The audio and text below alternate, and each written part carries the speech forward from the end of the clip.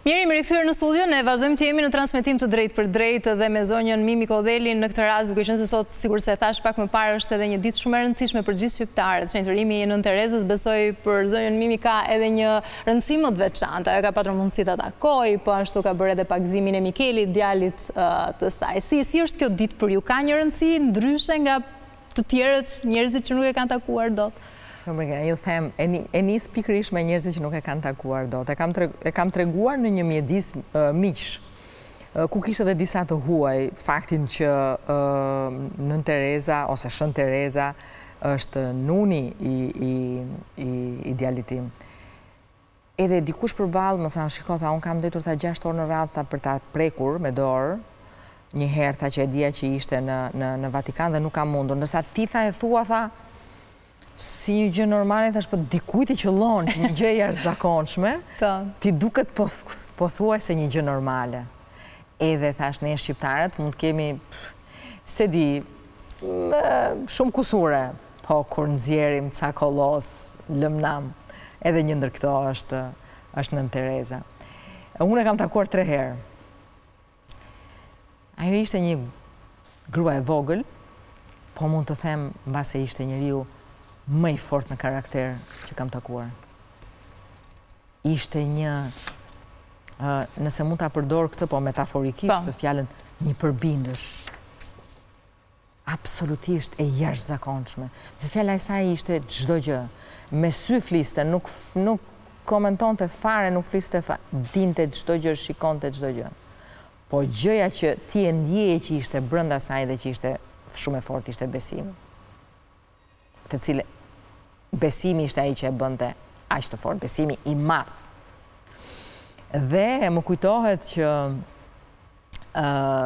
kisha e fretënve quhet kisha e vogël ku, ku kam pagëzuar Mikelin. Fëmijët qanin, se për ishin të vegjël, E qeshte. Dhe unë thosha, ka mundësi që nuk ka siklet nga bebet që qajnë dhe pastaj mendoja, thosha, jo, ajo ka parë, ka, ka parë, ka pasur përpara fytyrës, ka mbajtur në krah, kaq shumë bebe që kanë qarë për shkak të kaq shumë dhimbjeve, sa qarja e fëmijës për të është gëzim, sepse tregon që është jetë, Tregon që ky bebe që qan, reziston, do do do do vazhdojë të jetojë. Ka zërin e, domethënë nxjerr atë zërin që i vjen nga brenda, se shumë e rëndësishme që pse bebja qan. Është në është filozofikisht besoj që është një ndër gjërat më të jashtëzakonshme që percepton njeriu. Edhe ti e kuptoje që ajo ta jepte këtë mesazh, që e mos u merakos që ky ndërkohë që po pagëzohet po qan, sepse fakti që qan tregon që ky do jetojë, që ky ka forcën e ekzistencës. Kështu që kjo, kjo është gjëja që më ka mbetur në mendje. Pastaj, modestia me të cilën jetonte, ishte mbresëlënëse. Nuk e di, a është një kuriozitet në fakt, nuk e di, pak veta e dinë, mbase e ndaj me ju. Po. Ajo ishte një grua që hante ushqehej, pardon, vetëm me bukë dhe qumësht. Nuk hante asgjë tjetër. Asgjë tjetër. Unë doja që edhe për publikun, thjesht për rikujtesë duke qenë se sot është dita e madhe e saj dhe janë 8 vite nga ai moment i rëndësishëm i shenjtërimit. Ndjekim këtë material dhe e vazhdojmë bisedën se besoj që edhe Mimi ka për të na treguar të tjera momente të rëndësishme nga këto tre takime.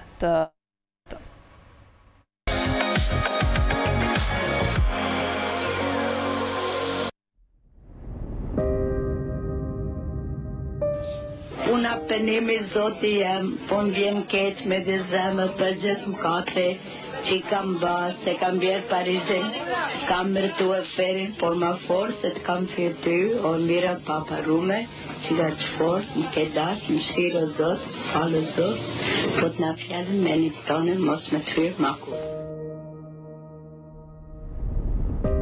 Folu butësisht njerëzve, tregoje mirësi në fytyrë, në sy, në buzëqeshjen tënde, në ngrohtësinë e buzëqeshjes tënde. Gjithnjë të kesh buzëqeshje gazmore. Jep jo vetëm kujdesin, por edhe zemrën. Ne s'mund të bëjmë dot gjëra të mëdha, vetëm gjëra të vogla me dashuri të madhe. Ne nuk kemi nevojë për armë dhe bomba që të sjellim paqe në botë. Kemi nevojë për dashuri dhe dhembshuri. Dashuria fillon duke u kujdesur për më të afërmit. Përulësi dhe sakrificë, dritë e shpresës në errësirën e botës. Kështu ishte ajo. Ndriçonte zemrat e atyre që jetonin në vuajtje dhe dhimbje, duke u bërë simbol i dashurisë dhe dhembshurisë së pafund. Katër shtatori është dita e shenjtërimit të saj. Kjo është dita kur të gjithë besimtarët katolikë e jo vetëm përkujtojnë misionin e saj të rëndësishëm. Nënë Tereza, e njohur për përkushtimin e saj të pamasë ndaj të varfërve dhe të vuajturve, ka luajtur një rol të jashtëzakonshëm në shoqëri, si një simbol i dashurisë, humanizmit dhe përkushtimit. Ajo ndërtoi ura lidhëse mes njerëzve të të gjitha feve, racave dhe shtresave sociale. duke u bërë një zë për të gjithë ata që shpesh mbeteshin të padëgjuar. Nënë Tereza nuk ndaloi asnjëherë duke u ofruar për të gjithë ata që kishin nevojë për kujdesin e saj. Jo të gjithë mund të bëjmë gjëra të mëdha, por mund të bëjmë gjëra të vogla me dashuri të madhe. Janë këto fjalët që shenjtorja jonë u la njerëzve. Tetë vite më parë, më 5 shtator 2016, nëna e madhe e të varfërve, fituese e çmimit Nobel për paqen, u shpall shenjtore. Papa Françesku njohu dy mrekullitë e saj, të shërimit të të sëmurëve pas vdekjes së saj, më një mijë nëntëqind e nëntëdhjetë e shtatë. Me gjak, unë jam shqiptare, me shtetësi, jam indiane, me besim, unë jam një murgeshë katolike. Sipas profesionit tim, unë i përkas botës, për nga zemra ime, unë i përkas plotësisht zemrës së Jezusit. Këto janë fjalët e thëna nga Nënë Tereza, Gruaja e jashtëzakonshme dhe shenjtorja e të varfërve të të gjithë botës, e cila kurrë nuk e harroi origjinën e saj. Unë jam tuj lut për ju. Zoti qoftë me ju.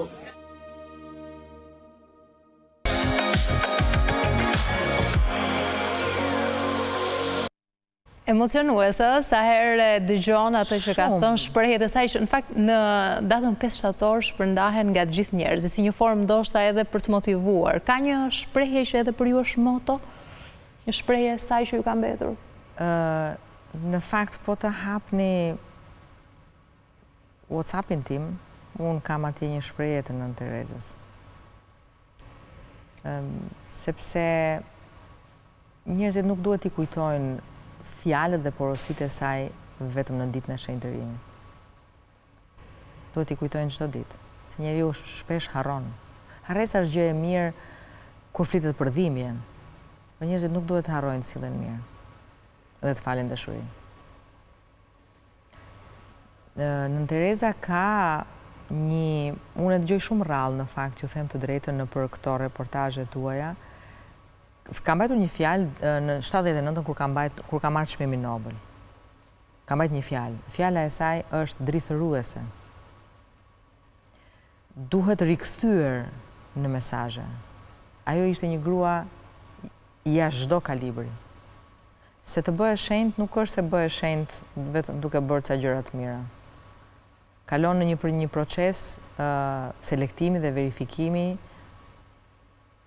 të jashtëzakonshëm. Keni patur bisedë me të, ju thatë pak më parë që ajo më shumë fliste me shikime, ishte shumë e heshtur. Me shikime, ishte e heshtur, kishte në ato vite erdhi sepse po hapte shtëpitë e motrave dhe ishte shumë e përkujdesur dhe shumë e vëmëndshme që shtëpitë të ishin në vëndin e duhur, që të kishin gjithë këto atrecaturat e duhura, që motrat të kishin vënd ku të ku të luteshin, ku të flinin, që të kishte vend të mjaftueshëm për njerëzit e varfër që vinin apo që kërkonin bekimin e saj, dhe sepse kuptonte nga çdo gjë, nga ndërtimi, nga arkitektura, nga financat, nga, domethënë ajo ishte një organizatore, një menaxhere e jashtëzakonshme, imagjinoni që kishte mijëra dhe mijëra, mijëra shtëpi në gjithë botën dhe ishte gruaja e vetme në botë që të gjithë më të fuqishmëve të botës i fliste me emër. President nga president i Amerikës te mbretëresha e Anglisë te të gjithë të tjerët.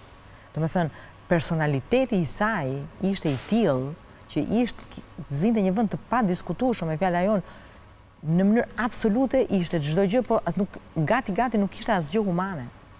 Ndodh ta kujtoni me Mikelin shpesh? Po si, por në jetën e tij është shenjë e madhe. Sigurisht Mikeli ishte i vogël, bebe nuk e mban mend, por për fat të mirë ne kemi dy foto të tij, ku ajo ka shkruajtur sipër God bless you, Mother Teresa, pra, shiko, është e jashtëzakonshme, është nuk gjej fjalët, edhe për shkak të emocionit, për shkak të pamundësisë time, për të gjetur fjalë në shqip, që të mund të përshkruaj lidhjen dhe emocionin dhe fatin e madh, që të kesh nun të djalit një shenjt aq më tepër një shenjt shqiptar kshu që ë ju thash Nënë Tereza nuk duhet të jetë një shtat një një shtatore që rri nëpër nëpër pjacat tona nëpër rrethrrotullimet tona nëpër kryqëzimet tona nëpër sheshet tona Nënë Tereza duhet cituar në shkolla, Nënë Tereza u duhet mësuar fëmijëve në kurikulat e shkollës, sepse është një mësim i madh jete,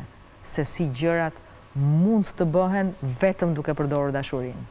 Edhe është një shembull real, një shembull i prekshëm, është një shembull që mund ta shikosh, ta verifikosh dhe ta vërtetosh, sepse janë janë xhirimet, janë fjalët e saj, janë veprat e saj, Janë njerëzit që ka që ka shpëtuar dhe ajo ka jetuar në një mjedis që ka qenë të varfrit e më të varfërve. Domethënë, nuk mund të kishte më mjedis më, më, më, më, më të lënë pas dore dhe më të varfër se sa mjedisi ku ajo ndërtoi mbretërinë e saj të, të, të besimit, të dashurisë dhe të shërbimit.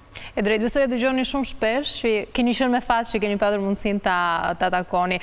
Do doja që në këto minuta të fundit të ndalem pak tek një tjetër aspekt shumë i rëndësishëm që ju po përjetoni gjatë muajve të fundit, ndjesia e të qenurit gjyshe, ju keni qenë shumë e lidhur me Mikelin, djali i vetëm i juaj, po besoj që tani që ka ardhur Aleksi në jetë, ë, besoj ka ndryshuar gjërat, si është raporti me Mikelin, bën dot kush qëndron para? Aleksi është, është.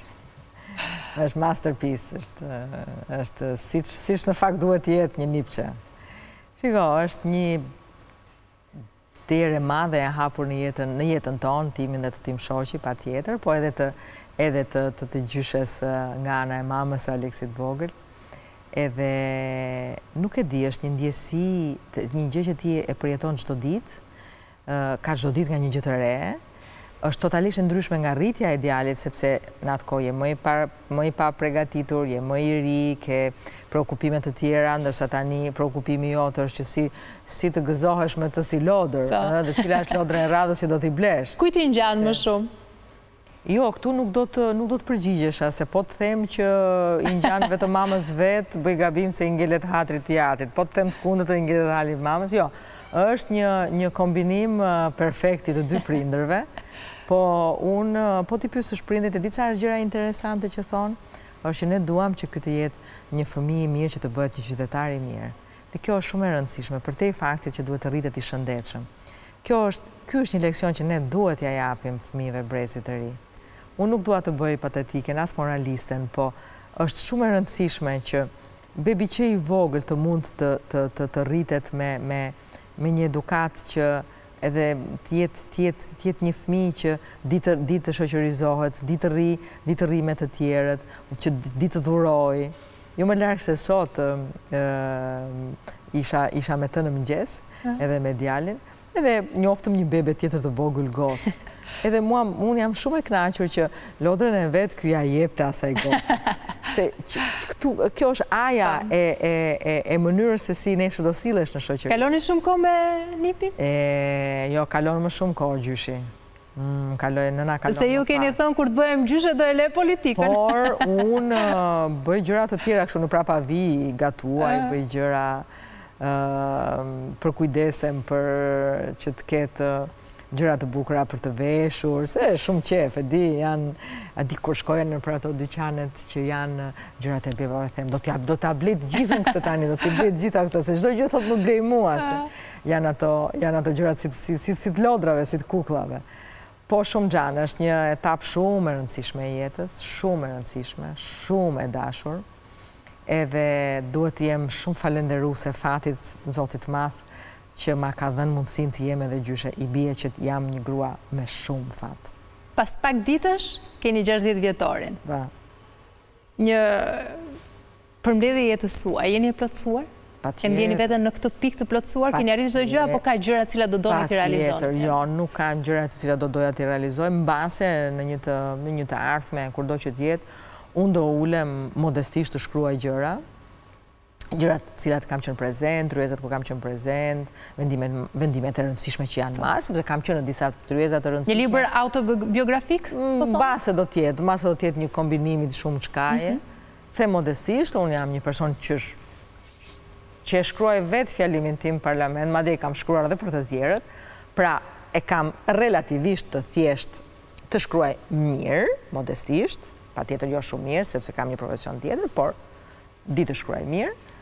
Edhe besoj që kam edhe një borxh babait tim, i cili është larguar herët nga jeta, por ka lënë analiza dhe dorëshkrime interesante, të cilat mbase do të vijë një ditë që më duhet t'i botoj.